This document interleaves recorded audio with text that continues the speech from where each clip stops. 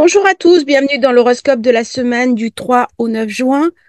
Une semaine qui va être marquée par deux événements. D'une part, le passage de Mercure en Gémeaux avec un très fort accent Gémeaux et puis également la nouvelle lune. Hein. je dois vous préparer la vidéo sur le sujet. Beaucoup, beaucoup, beaucoup de créativité, d'émulsion mentale, de réflexion. Tout va tourner autour de la compréhension de notre capacité à imaginer le monde à nous redessiner, à nous redécouvrir, mais également à nous former, à nous adapter et aller de l'avant, prendre confiance dans nos capacités, dans ce que nous sommes et dans ce que nous avons envie d'incarner.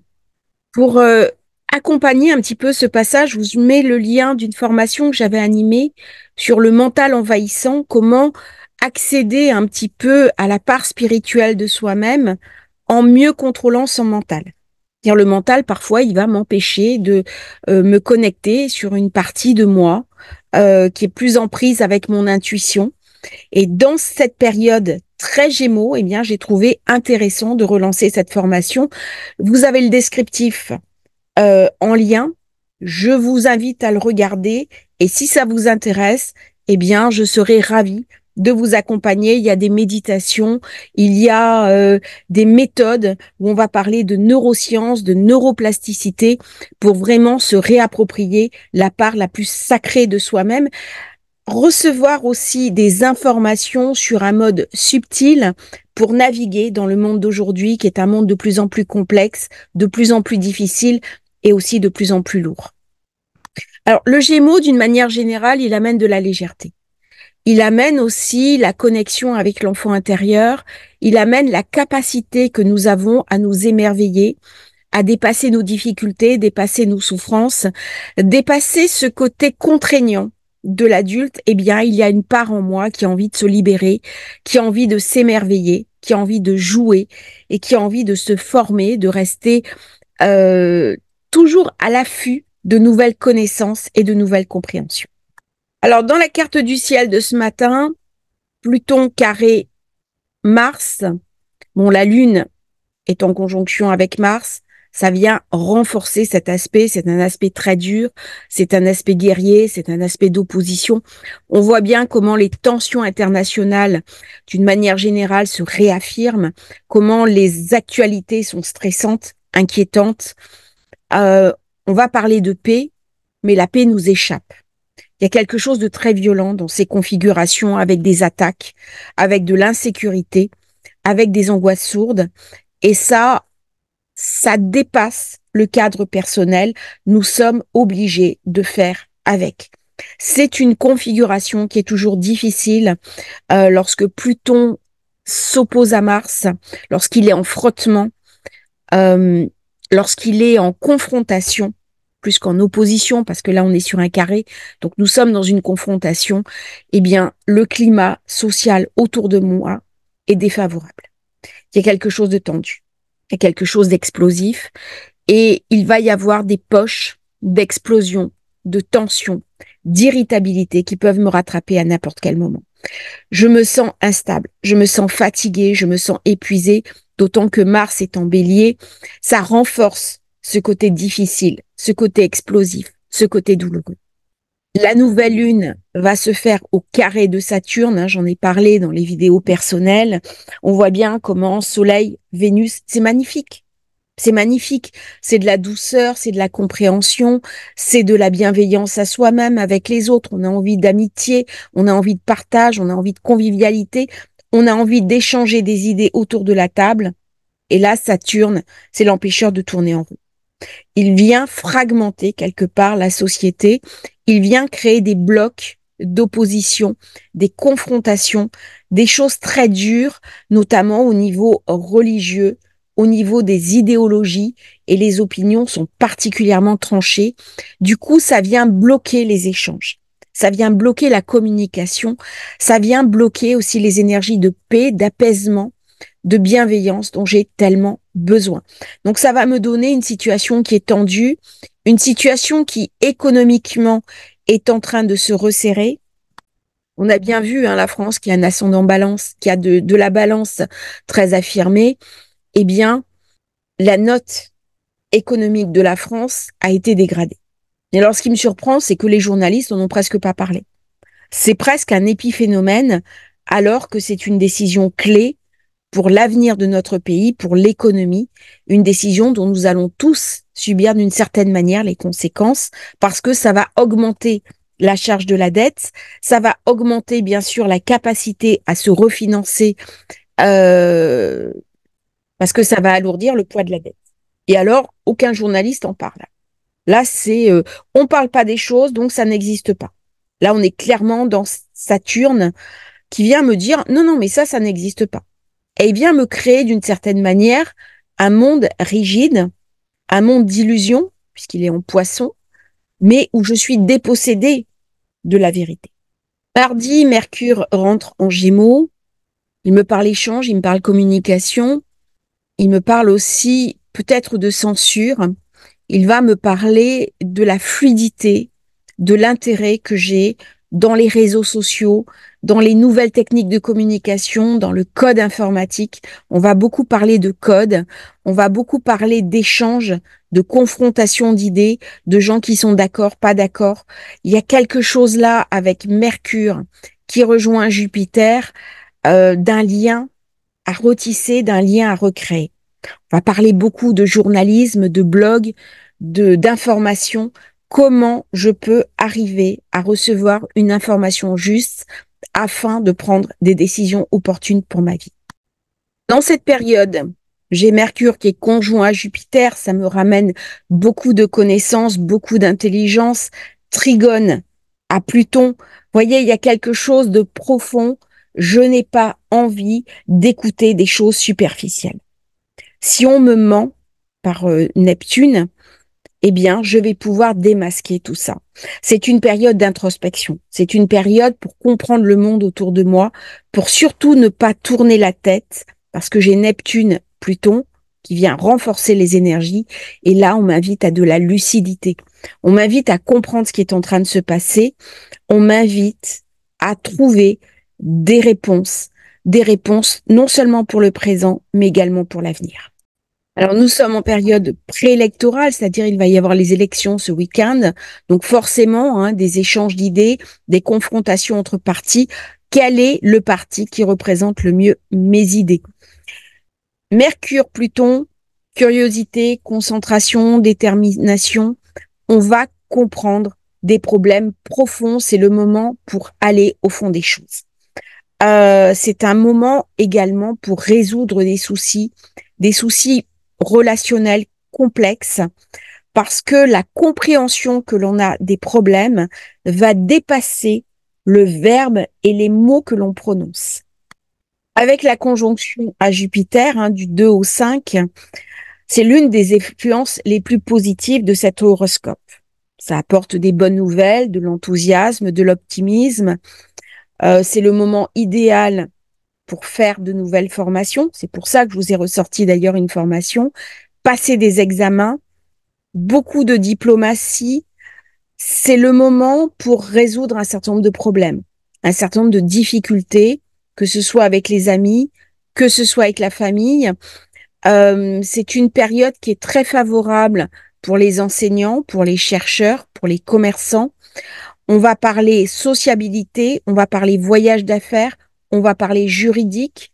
Si vous attendez dans cette période-là, à condition que votre évolution solaire et votre thème de naissance le permettent, mais si vous attendez une décision de justice, elle va être favorable. Nous avons également une belle conjonction Soleil-Vénus hein, du 26 mai au 13 juin. Ça apporte de l'amour, de la paix, de l'harmonie, de la beauté. C'est le moment où j'ai envie de prendre soin de moi. C'est le moment où j'ai envie euh, de me gâter, de peut-être d'acheter des vêtements, d'aller chez le coiffeur, chez la manucure, euh, de m'offrir une thalasso. Et ça va créer peut-être de la frustration, notamment avec ce carré à Saturne, si je ne peux pas m'offrir ce dont je rêve. Il y a là euh, un, un, côté un petit peu désabusé parce que le Soleil conjoint Vénus me rend dépensier ou dépensière. Et si je ne peux pas nourrir mes besoins, mes besoins en termes de euh, d'acquisition de biens, euh, de repositionnement, de rencontres affectives, eh bien, cela peut engendrer chez moi de la colère, voire même un sentiment de trahison. Donc, ça va se rejaillir de manière positive sur les relations amoureuses, la créativité, les influences, euh, les finances aussi. C'est un moment où j'aurai plus euh, de charisme. C'est une influence agréable, affectueuse, charmante, amicale, qui est de bon augure pour commencer une relation. Si vous avez euh, un compagnon ou une compagne besoin d'apaiser une tension, besoin de ramener de l'affectif, c'est le moment parfait pour foncer. C'est bon pour le travail créatif, le shopping et tout ce qui tourne autour du financier. Le 6, bien sûr, j'aurai la nouvelle lune qui va se dérouler en Gémeaux, 16 degrés. Regardez surtout si vous avez le Soleil ou une planète à 16 degrés du Gémeaux, 16 degrés du Sagittaire. Là, il va y avoir un impact particulier. Regardez la maison où cette nouvelle lune va être activée parce que quelque chose de nouveau se met en place. Si vous avez votre anniversaire, que vous êtes Gémeaux durant cette période, eh bien, ça va être déterminant pour l'avenir. Ce sont les grandes années de changement. En général, hein, la nouvelle lune se fait en conjonction du soleil, 2 degrés, pas plus. Et là, il y a toujours, toujours euh, des nouvelles choses qui se mettent en place. Elle va se faire sous l'influence de Vénus, euh, alignée avec l'étoile fixe Rigel, qui est à 17 degrés. Ça va donner une grande ambition, une vision plus large, des grands honneurs, de l'avancement religieux. Ça va mettre l'accent sur le spirituel, sur le religieux. On voit bien les tensions qu'il y a euh, actuellement dans le monde qui sont sous forme d'idéologie religieuse. Il y a quelque chose de martial. Il y a aussi de la chance dans les affaires et ça vient me parler de renommée. C'est donc le moment pour prendre des décisions favorables, améliorer sa communication, améliorer aussi euh, sa capacité à vendre, ses projets, comment je vais pouvoir parler au monde. C'est le moment idéalement pour prendre confiance en soi et pour améliorer sa réflexion, sa capacité à transmettre ses idées et sa capacité à mettre en forme ses idées. Durant cette période, on peut inventer de nouvelles choses. On va nous parler d'invention. On va nous parler aussi de choses, euh, des trouvailles, hein, des découvertes euh, scientifiques qui vont changer notre quotidien. On va nous parler aussi de nouvelles découvertes, notamment au niveau de l'espace, au niveau des techniques. Et je vais pouvoir m'appuyer sur la technique pour améliorer un petit peu mon quotidien. Pas que nous sommes sur une nouvelle lune. La nouvelle lune, c'est toujours quelque chose de nouveau qui démarre. Euh, là, ça va être au plan informatique, peut-être des nouvelles choses sur l'intelligence artificielle, sur le rapport que j'entretiens avec l'informatique, et aussi une réflexion profonde à mener sur comment l'intelligence artificielle peut me soutenir, mais comment elle peut aussi me priver de choses fondamentales, à savoir ma liberté. Et là, il va y avoir, par ce carré à Saturne, quelque chose de dur qui se met en place, quelque chose qui m'est confisqué, mais la réflexion sera de toute façon menée. Dans les aspects de la semaine, Vénus carré à Saturne jusqu'au 9 juin, eh bien, il y a quelque chose qui vient m'abîmer, euh, ma vie amoureuse, mon estime de moi, mes finances, mon expression créative.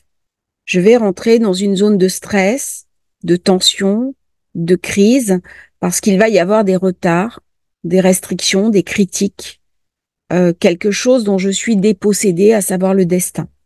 Euh, la tension autour de moi devient palpable. Il y a une situation économique qui est en train de devenir difficile. Et là, alors même que j'ai un aspect qui m'invite à me projeter sur l'extérieur, eh bien, je vais ressentir de la frustration. Du coup, je vais être obligé de travailler plus, je vais être obligé d'économiser, je vais être invité à rembourser mes dettes. Bref, c'est pas très joyeux alors que l'été arrive et que j'ai envie de profiter de la vie. Du 7 au 10 juin, j'ai Mars qui est semi-sextile à Neptune il va me donner une compensation spirituelle. Je vais être plus sensible, plus intuitif, il y a quelque chose de subtil qui se met en place et qui va atténuer justement la tension causée par Vénus carré Saturne en rendant les relations plus harmonieuses. C'est-à-dire que à l'extérieur, eh bien, je vais affronter le monde, mais d'une manière plus intérieure avec mon entourage, je vais pouvoir me connecter sur de la bienveillance, sur de la sensibilité, sur une compassion qui va m'aider à passer le cap de cette période difficile. Le 9 juin, dimanche, on sera en plein dans les élections. J'ai Mars qui change de signe, qui va m'amener de la tension. C'est-à-dire chaque fois que j'ai un changement au niveau Mars, euh, il y a un basculement d'énergie. Mars va rentrer en taureau. Là, j'ai une tension énorme. C'est-à-dire que ça ramène une forme de brutalité. Il y a une force brute il y a quelque chose d'un affrontement entre deux tendances. Euh, au niveau politique, on va pas se faire de cadeaux. Ce n'est pas les, les diplomates qui vont gagner, mais au contraire les extrêmes. Et la conséquence va être sûrement des affrontements entre des groupes de personnes. Après les élections, le soir des élections, il va y avoir sûrement des tensions dans la rue, beaucoup d'animosité, beaucoup de confrontations entre groupes ceux qui vont célébrer la victoire et ceux qui vont vouloir les affronter. Donc il va y avoir un frottement, il va y avoir une friction, et nous rentrons avec Mars en taureau, euh, d'autant que Mars domine toujours le nœud nord, dans quelque chose de difficile, dans quelque chose d'éprouvant, euh, où la conciliation va être confisquée par Mars. Encore une fois. En plus, j'ai le Soleil qui est carré à Saturne hein, du 7 au 11 juin. Donc, il y a des, restrictions, il y a des revers, il y a du stress, il y a de l'inquiétude. Euh, on vous dit de ne pas trop écouter votre intériorité parce qu'il va y avoir beaucoup de d'angoisse, d'inquiétude. Faites ce que vous avez à faire, même si c'est difficile. On est invité à assumer ses responsabilités avec patience, détermination, avec éthique. C'est le bon moment pour simplifier, pour apporter de l'efficacité à sa vie, mais c'est aussi le moment pour ne pas trop écouter son intériorité. C'est-à-dire, il y a des moments dans la vie, euh, je peux me laisser aller, je peux profiter de la vie, je peux m'ouvrir à ma compassion, à, au monde d'une manière générale, mais il y a des moments où je suis invitée à contrôler ma trop forte émotivité, à ne pas rentrer dans la fébrilité, parce que sinon je vais souffrir, je vais mettre en place de l'inquiétude et on voit bien que cette soirée d'élection, que cette journée d'élection va se placer sous haute tension. Hein. Saturne étant toujours l'administration, le Soleil étant le pouvoir en place. On sait que la France est ascendant Lion. Alors, il y a plusieurs ascendants possibles sur la France. Hein. Il y en a qui mettent Bélier, il y en a qui mettent Poisson. Moi, j'utilise une carte où c'est l'ascendant Lion qui est en valeur eh bien là, il est possible qu'il y ait une crise au plus haut niveau, aux plus hautes instances du pays et une confrontation assez dure, notamment sur les plateaux télé, mais d'une manière plus générale, hein, des oppositions difficiles, euh, belliqueuses. Il y a quelque chose de d'offensif euh, dans cette soirée d'élection. Alors beaucoup ont parlé d'une grogne populaire qui est en train de s'exprimer. Eh bien là, ça va être le cas. Or, si vous avez Saturne qui est bien aspecté dans votre thème, euh, Saturne qui va devenir rétrograde hein, à la fin du mois, vous allez pouvoir tirer les marrons du feu. Euh, par contre, Saturne, on a l'impression qu'il vient gâcher l'ambiance. Parce que c'est une carte qui est belle. C'est une nouvelle lune qui est belle. Mais là, euh, les instances administratives, les, les hiérarchies étatiques vont quelque part me confisquer ma joie. Il va y avoir une confrontation entre les anciennes générations, les nouvelles générations. Il y a quelque chose de très clivé. Saturne vient bloquer. Et donc, je ne pourrai pas, durant cette période, avoir le fruit de mon travail comme je suis en droit de l'attendre, ni la joie que je suis en droit d'attendre. Euh, le Gémeaux, il est léger. Et là, je suis invitée à rester dans une histoire de responsabilité, euh, de froideur, de détachement. C'est pas du tout les ambiances Gémeaux. Et on voit bien comment ça frotte.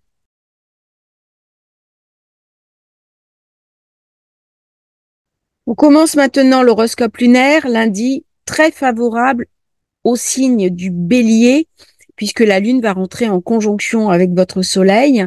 Vous allez pouvoir en profiter jusqu'en début de soirée, très favorable pour vous.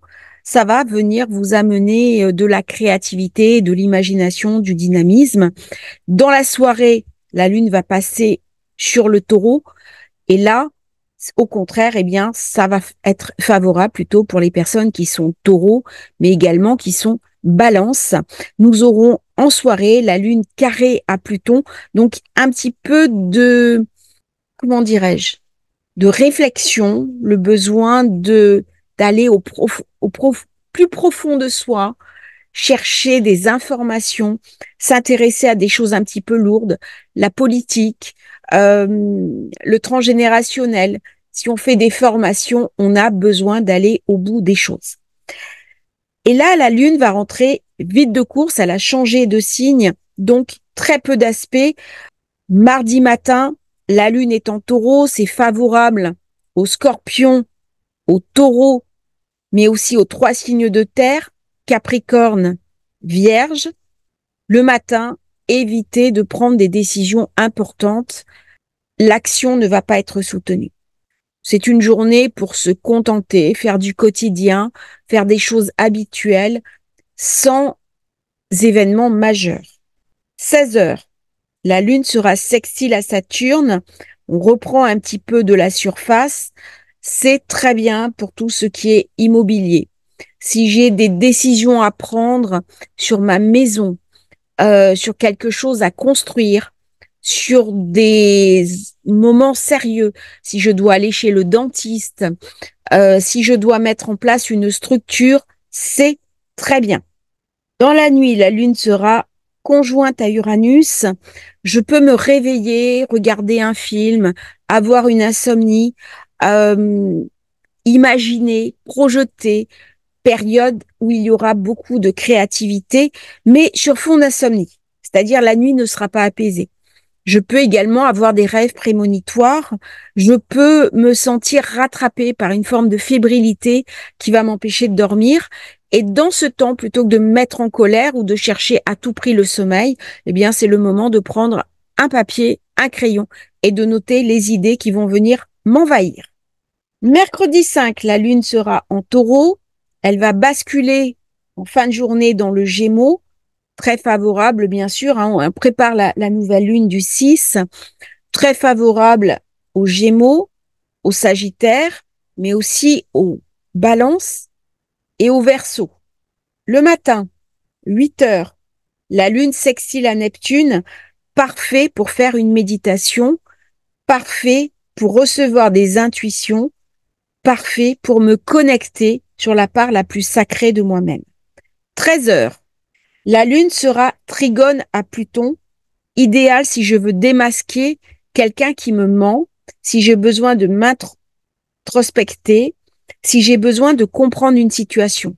C'est une période idéale pour aller chez le médecin, pour décider d'une opération chirurgicale, pour changer quelque chose de très important dans ma vie. C'est un moment très important pour les personnes qui sont psychologues, psychiatres, thérapeutes, parce qu'elles auront une meilleure compréhension des personnes qui viennent les voir. C'est également une période clé pour tout ce qui est astrologue, tarologue, voyant, médium, thérapeute. 15 heures. La Lune sera sextile à Jupiter. C'est une grande période de chance pour les affaires. C'est le moment d'en profiter. Autant pour moi, la Lune ne sera pas sextile, elle sera conjointe à Jupiter. Je recommence. Ça arrive des fois. Hein. C'est ma dyslexie. Lune sera conjointe à Jupiter, très bonne période pour les affaires. Donc c'est le moment, si j'ai des contrats, si j'ai des nouveaux prospects à aller chercher, si j'ai des à emporter l'adhésion, très bonne période. Là, vous avez euh, durant ce, ce passage une forme de surface qui est donnée quelque chose euh, de commercial, de financier, où je peux aller chercher de la chance. Les décisions que je vais prendre à ce moment-là vont m'être favorables. Euh, alors bien sûr, sous réserve de votre thème de naissance, de votre évolution solaire, mais lune conjoint à Jupiter, c'est toujours un bon moment qui va aussi donner de la chance aux personnes qui sont sagittaires, aux personnes qui sont poissons. Elle va m'inviter à réfléchir. Qu'est-ce que je veux faire?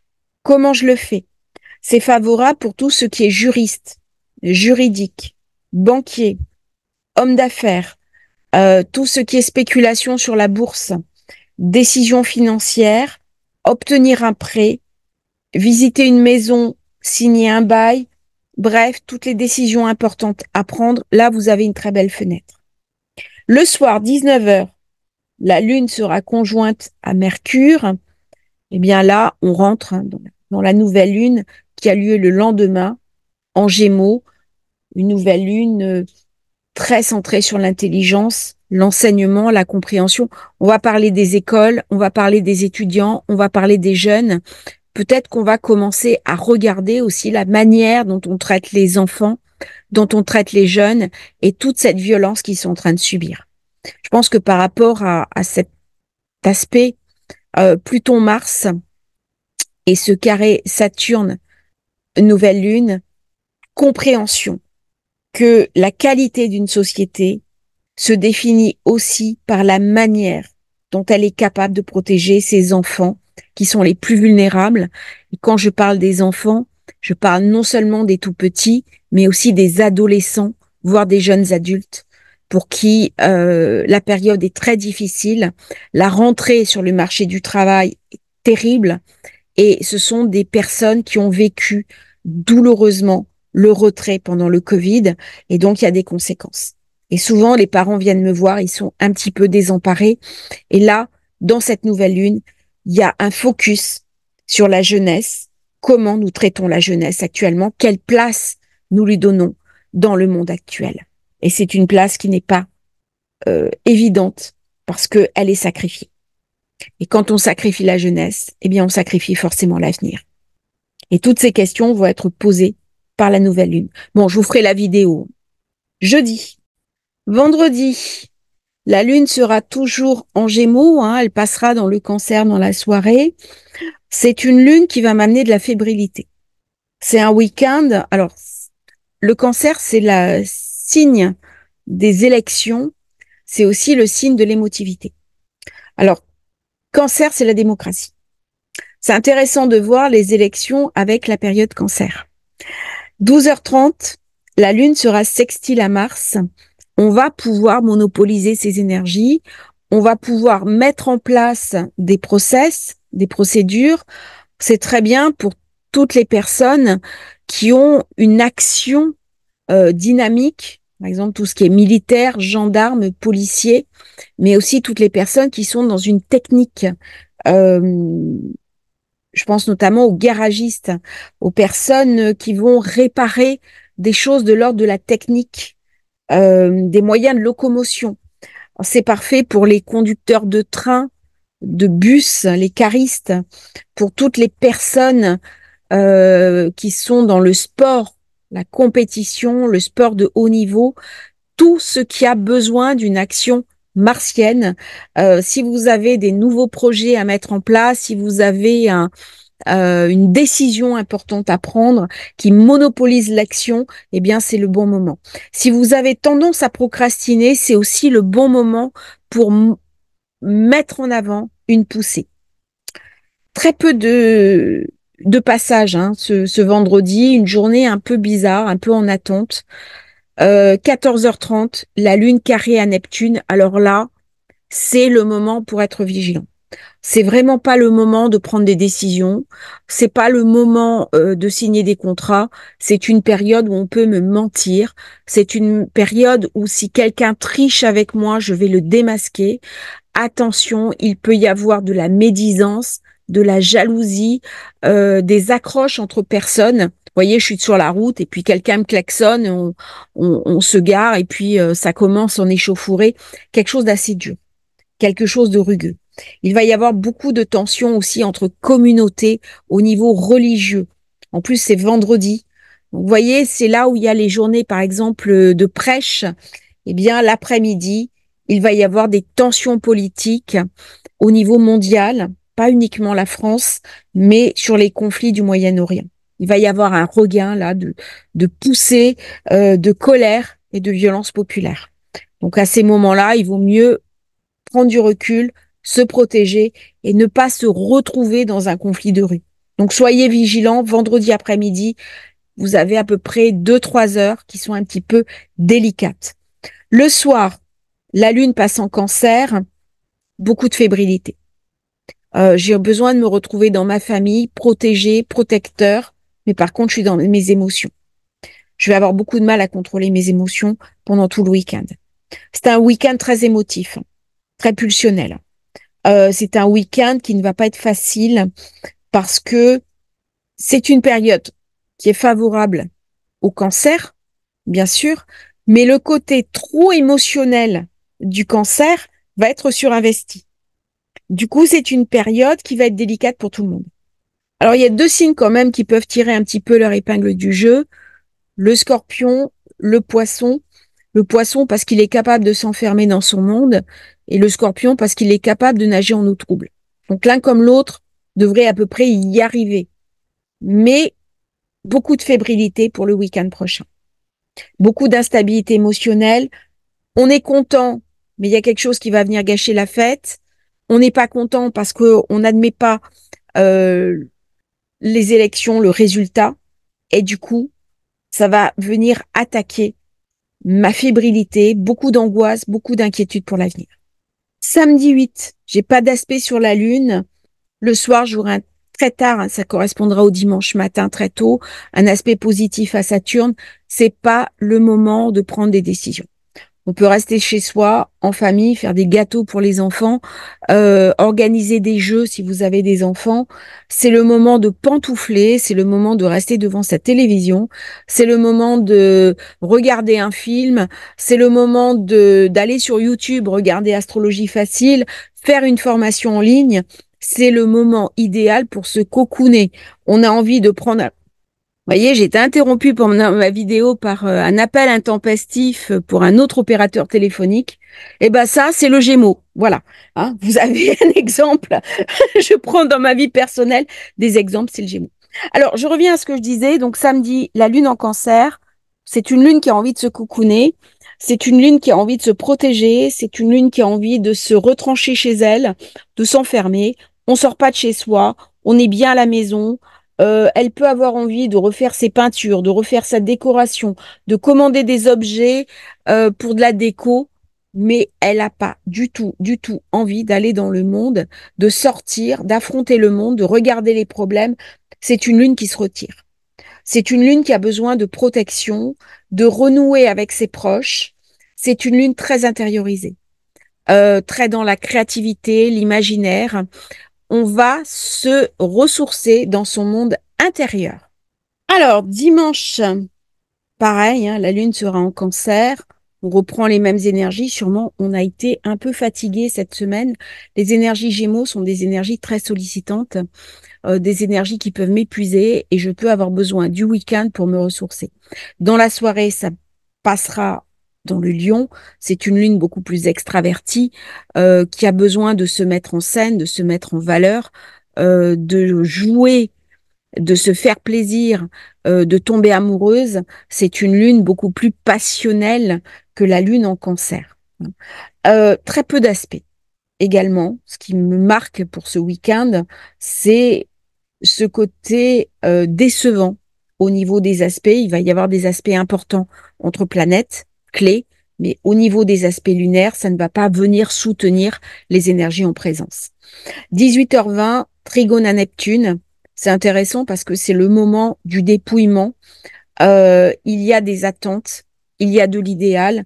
C'est le moment pour se connecter, pour être dans son monde intérieur, pour être dans sa spiritualité, pour recevoir des intuitions d'autres mondes, d'autres énergies. Euh, c'est le moment aussi pour euh, peut-être organiser ses vacances d'été pour regarder ce qui va se passer, partir au bord de l'eau. On a besoin d'aller au bord de mer. On a besoin de se ressourcer dans l'eau. C'est le moment de prendre une bonne douche qui va nous réénergiser, de prendre un bain, d'utiliser l'eau comme un, vecteur euh, d'énergie. Eh bien là, je pense qu'au niveau des élections, il va y avoir des déconvenus, il va y avoir un espèce de basculement. Hein, ça met en avant plutôt les extrêmes, ça met plutôt en avant les choses un peu profondes, difficiles, douloureuses. Euh, il va y avoir une forme de, de confrontation. Nous avons vu avec les autres aspects que ça va être une journée sous tension. À 22h25, j'ai la Lune qui est carrée à Mars. Je pense que le résultat euh, des élections va engendrer des mouvements de rue. Ça va engendrer des tensions. D'autant que Mars est rentré juste ce jour-là dans le taureau. Donc il est carré à son propre maître, qui est la Lune. Voyez comment il va y avoir un surinvestissement émotionnel et comment une forme de vindicte populaire va euh, chercher à reprendre le pouvoir. Ça va être une soirée tendue. Parce qu'en plus, je serai au carré exact Soleil-Saturne. Donc là, il y a vraiment quelque chose d'une friction. Deux groupes qui s'affrontent. Deux opinions très tranchées qui rentrent en confrontation, en contradiction.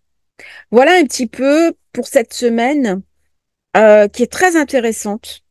Si on a euh, des décisions à prendre, euh, des plans marketing à organiser, des formation à faire, si on est étudiant, si on est scolaire, si on est formateur, si on est enseignant, très belle période.